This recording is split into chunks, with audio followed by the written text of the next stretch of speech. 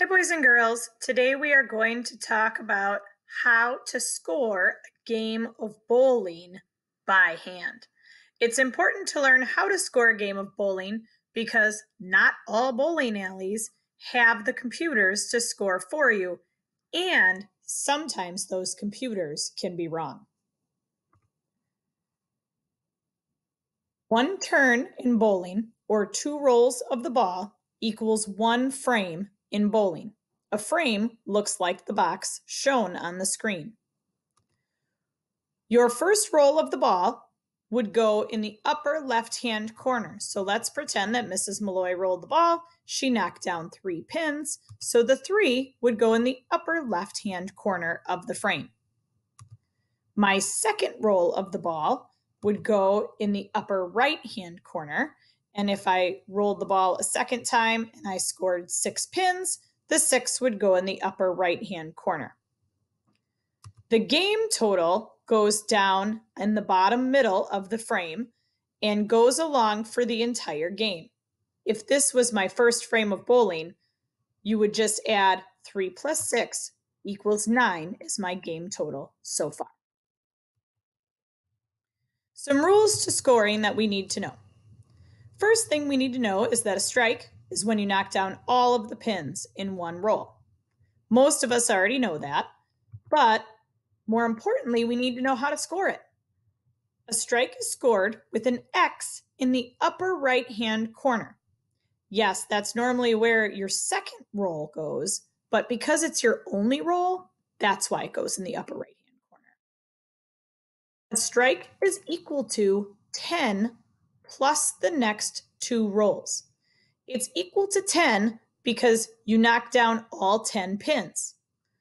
Then, as a bonus, you get to add whatever numbers are your next two rolls of the ball. This will be an important key to helping you score.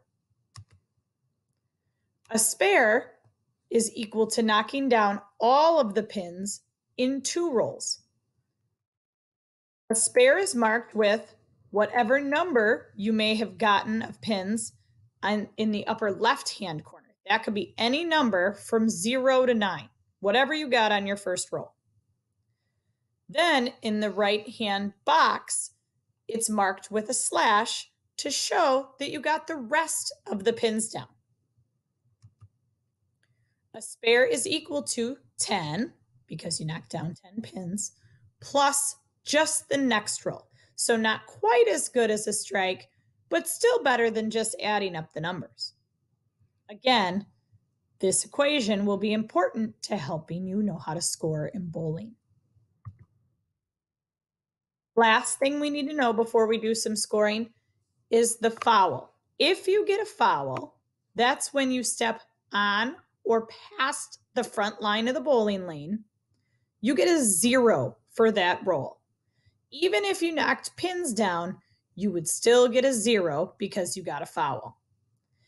If the foul happens on your first roll of the ball, you would have to reset your pins so that you can take your second roll. That way, you can go for the spare. If the foul happens on your second roll, you would get a zero for that turn, and your turn is over. Let's do some scoring.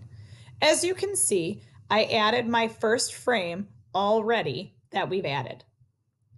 Now it's my second turn. On my first roll of the ball, I get one pin down, so I put a one in the upper left-hand corner. Then I take my second roll and I get five more pins down, so I put my five in the upper right-hand corner. To add up my game total, I have to take my score of nine from my first frame and add it to my second frame. So I would take nine plus one plus five equals 15. So now 15 is my game total so far. On my third turn, when I roll the ball, I get a strike when I'm going to score for my game total for my strike, I can't put a score for my game total in yet. That's because a strike is worth 10 plus my next two rolls of the ball. So I have to wait until I roll the ball two more times to be able to add up my game total for frame three. I would wait for my next turn. On my fourth turn, my first roll of the ball, I get seven. In my second roll of the ball, I knock down the rest of the pins for a spare. Now remember, I already knocked down seven, so the rest of those pins would really be a three. Now I'm going to go back and I'm going to add up my frame three game total. I start with my total score so far, 15. Then I'm going to add 10 for my strike because I knocked down 10 pins. So 15 plus 10 is 25. Then I'm going to add my next two rolls. Well, my next two rolls was a spare, and a spare means I got all 10 pins down in two rolls. So I would be adding 10 more. 15 plus 10 for my strike is 25, plus 10 for my next two rolls is 35. That 35 goes in frame three. Now, when I go to add up my game total for frame four, I again have to wait because a spare is worth 10 plus the next roll. I have to wait for one more roll. On my fifth, fifth frame, my first roll of the ball, I knock down one pin. My second roll of the ball, I knock down eight more pins. Now I've taken two more rolls of the ball. So I have plenty to go back and add up my frame four game total score. I start with my frame three game total, 35. I add 10 for my spare because I knocked down 10 pins in frame four. 35 plus 10 is 45. Then I add just my next roll, which was 1. 45 plus 1 is 46. 46 is my new game total for frame 4. I already went for frame 5, so I can keep adding. I take my 46 game total and I add 1 and 8. So 46 plus 1 plus 8 equals 55. 55 is my new game total after frame 5. Frame 6, my first roll of the ball, I knock down zero pins. So I don't get any points, but notice I still put a zero in that spot. So I know that there was um, a roll of the ball there. Then on my second roll, I knock down six pins. So I take my game total of 55 plus 0 plus 6, and my new total is 61. As you keep adding for your entire game, a bowling game is 10 frames of bowling. So I would keep going for my seventh, eighth, ninth turn and on my 10th turn or my 10th frame, you'll notice that the box looks different. The box looks different because I can earn a third bonus roll if I get a strike or a spare in my first two rolls of the 10th frame. If I earn a strike or a spare in my first two rolls, I get that bonus roll. If I don't, I don't get the bonus roll. So it's up to what you get on those first two rolls of the 10th frame. When you're adding the 10th frame, it can seem a little tricky if you get a strike or a spare. But really, all you have to do for the 10th frame, there are no more rolls coming after the 10th frame. That's the last part of your game.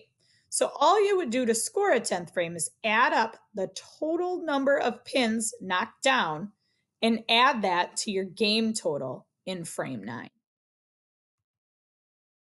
Let's see if we can finish up adding this game. We're starting with our eighth frame. I have 125 points. Pretty good game for Mrs. Mulloy.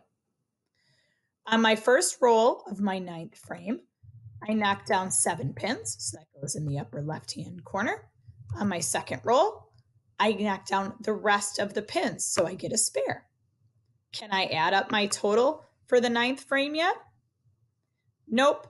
I have to wait for my next roll because a spare is equal to 10 plus my next roll. So on my 10th frame, or my 10th turn, I start out by rolling the ball. On my first roll of the ball, I get a strike, which means I will earn that bonus third roll. Because I got a strike on my first roll, I still get two more rolls of the ball. So on my second roll, I got three pins down. And then on my bonus third roll, I get a spare. So I got the remaining seven pins down. Now I'm going to go all the way back to my game total of frame eight of 125 and start adding up the rest of my score.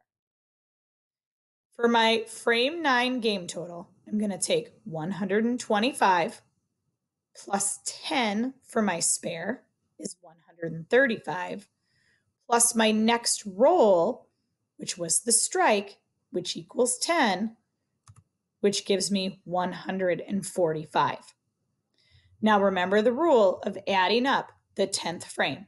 All I'm going to do is add up my total pins that I knocked down and then add it to my frame 9 game total. I knocked down 10 pins for my strike and 10 pins for my spare. That gives me 20. 145 plus 20 equals 165 is my game ending total. Now you're going to practice scoring your own bowling game. Good luck!